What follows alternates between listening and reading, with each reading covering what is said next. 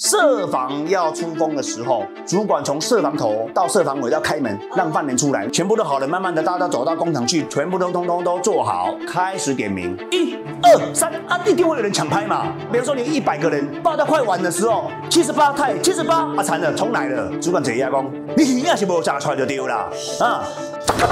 你你鬼何怕包干嘛？啊，有有有有，基本比较摩托派，比较机车，就把你办掉了。你扰乱工厂秩序嘛？哎，给你办违规。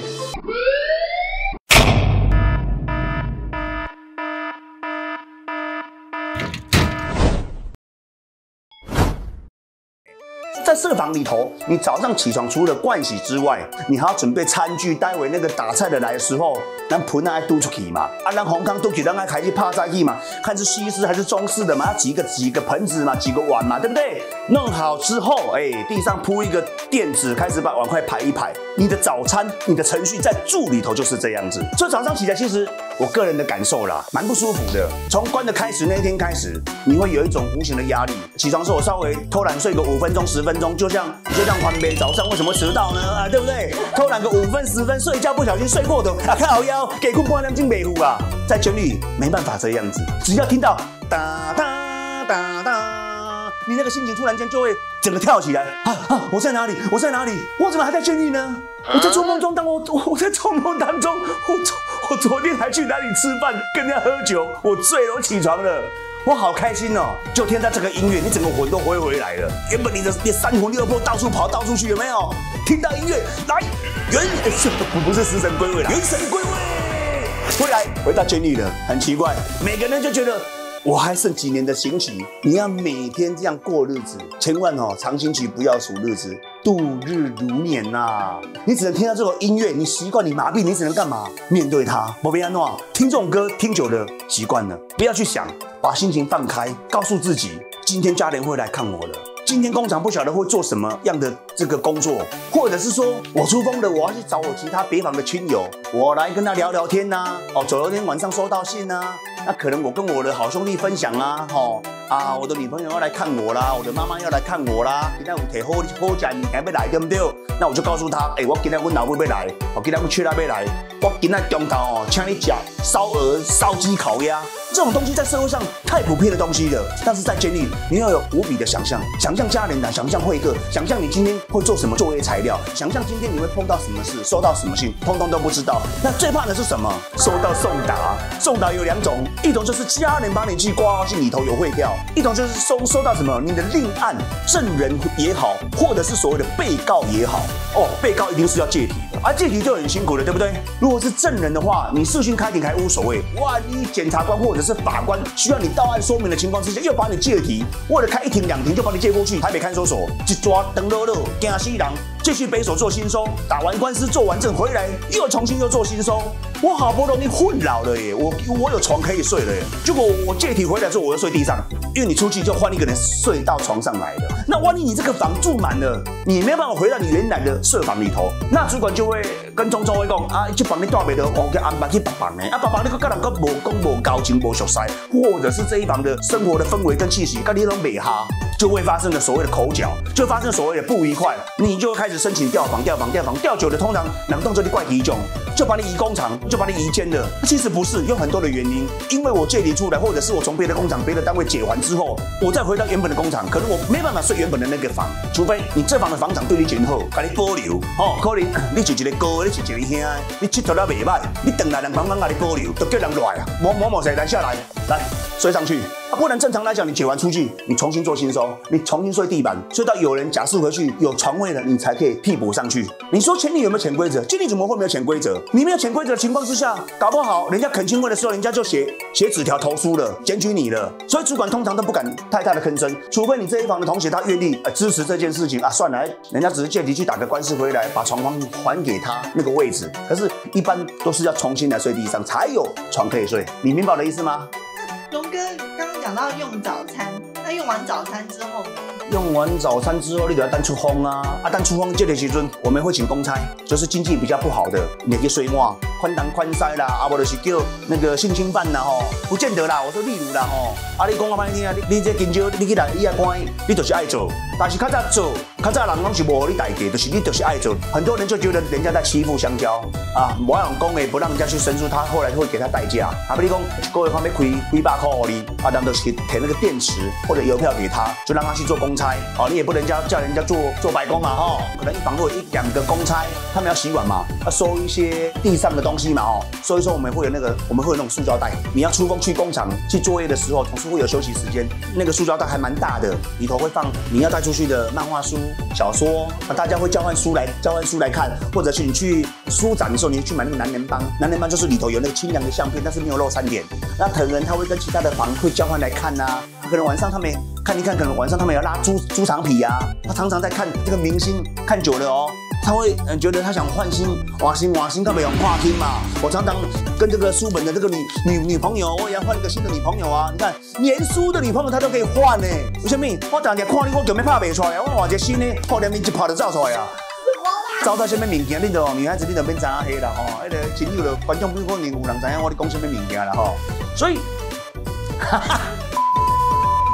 那个袋子里头他们会装很多，比方你要带出去工厂修改垫被套、枕头套、棉被套，带出去他们可能把棉被套把它裁成两件，然后他给他的另外一个亲友。那为什么他们会做呢？因为有些犯人是从别的监狱移过来，那他们别的监狱他们会有所谓的裁缝纫班、裁缝班，那么有一技之长嘛，所以他们就会到工厂在休息时间会做这些事，包括你的衣服啊破掉你要缝啊，你要在工厂作业衬衫要脱掉，对不对？但是你白森林这边要缝扣子才能够吊名牌，对不对？这些动作都要在工厂休息的时间做。所以他们那个袋子就里头放很多的杂七杂八，或者是你的电风，你不可以钢你被盖呀。那有些东西你改的不能让主管知道，因为改造电风是是违规的事情，甚至会被主管给没收。所以你要偷偷摸摸的把它带出去，那主管刚好在捡身捡包的时候没有看到，那就没事，那就过关了。那有些主管你跟你可能跟你比较熟，他就会睁一只眼闭一只眼，就看你看了你一下，你炸啥台炸这台，炸炸是不杀掉了，你搞海就丢了。可是。这种一般都是小事情，你只要不要太离谱的事情，通通都 OK。你莫去拍开第一来，你有恰零机啊啦，你主要看工具啊，哦，那种两条你就死啊，你跟反违规啊。通常他们拿这些东西，他们都很小心啊，所以那些拿那些袋子的人都是公差，或者是一些比较特殊的案子哦，可能他们也会做公差。你要出风的时候，你要盘腿静坐一整排，然后那些公差就把你的拖鞋放在前面，依照你的号码，通通帮你排好。那现在主管从设防头到设防尾，他要点完名了，要开门要出风，对不对？开门之后呢，然后就会同学就会开始穿拖鞋出去，他们就会。报数一二三四五六七八九十。阿光，你这个房十个人，一二三四五六七八九。哎，第十个人呢？为什么要报数？就是这样子。为什么点名？就是这样子。不管进去设防或者出来设防，出风收风都要点名，都要报数。那有没有遇过报数出贼的？工厂才会吐贼放炮。设防要出风的时候，主管从设防头到设防尾要开门，让犯人出来。那那个设防门他那个做嘴来收头的啦，奇怪，早上手机的想象，一连门三四的收头，叽叽嘎嘎叽叽嘎嘎叽叽嘎嘎叽哇！哎，不到嘴收头呀，我你带的关大力金刚嘛，哇，是你关大力水手不拍，哇，好几个锁头，开完锁的时候把门打开来，我那门真的很重。开完门之后，犯人走出来开始报数，然后开始有人看到主管，说主任找主任。好，排一整排之后，全部都好了，慢慢的大家走到工厂去，全部都通通都做好，开始点名，是报数的点名，从一组到二组这样绕回，这样绕一圈有没有？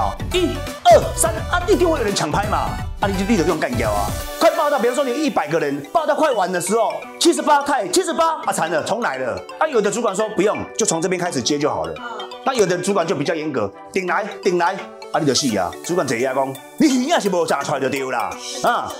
我骂到你，你鬼何？怕包干嘛？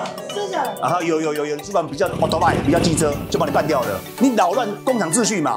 哎，跟你办违规啊！我觉得报数就报数嘛，眼睛都看得到，人就不会跑掉。就是就是太多人了嘛，有可能有人老会要有人口急嘛，你卡这个康博艺术嘛，对不对？哦，重报重报重报，报到最后，很多同学就给他干掉了。啊，最后主管就会跟那同桌讲，你好啊，可以个教育一下，报数耍了吼，再开杠一下啊。啊，咱就听那个两个也好，一直一直在报数啊。一二三四五六七。我就觉得这是在玩犯人吗？但是你在当下，你只能怎么样？服从。但是我觉得卖两位的洗干做不必要台击。我们矫正机关是要矫正受刑人，不是在矫正受刑人做不必要的事情，浪费时间。你这个是在玩犯人。哎，他报数就是这样子的嘛，你眼睛都看得到，他人没有跑掉嘛，他只是跟不上那个 tempo。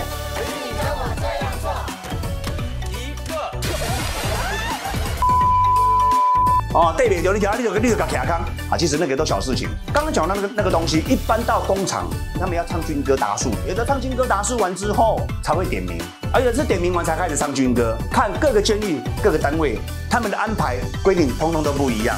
那所以我在做节目的时候，很多的观众朋友或者是亲友，他们会有他们很多的想法。对，是没有错。全台湾省有三十几个监狱，他们的规定、他们的制度，通通都不一样，包括作息时间也不一样。但是我们要以法务部矫正署为依据，就算不一样，也是他们单位的问题，对不对？并不是阿龙这边没有讲到。好，拜托几个，阿龙也没有管那么多的监狱，如果专单因为啥子故意干嘛？我打个灯关了。好。我还会在这边做节目给你们看吗？用想也知道，对不对？除非说你们很多人有关过很多的地方，你们可以在 FB 或者是 YouTube 里面，你们可以帮我分享一些新的资讯给目前在关的受刑人，或者给更生人，他们知道说现在监狱有什么样不一样的规定、潜规则或者新规则，我不知道，就是你们要去了解、去关心。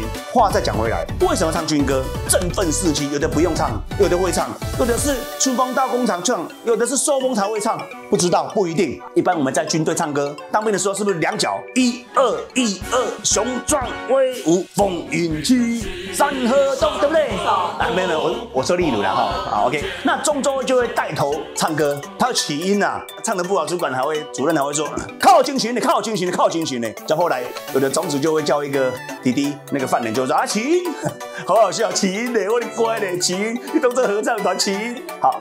你们都会讲说，哎，两只脚，哎，这样踏步，对不对？对。在监狱哦，不是两只脚踏步在唱歌，在监狱都是一只脚踏步。那请请先拖，嗯，左脚不动，右脚就会啪啪啪，风云起，山河动。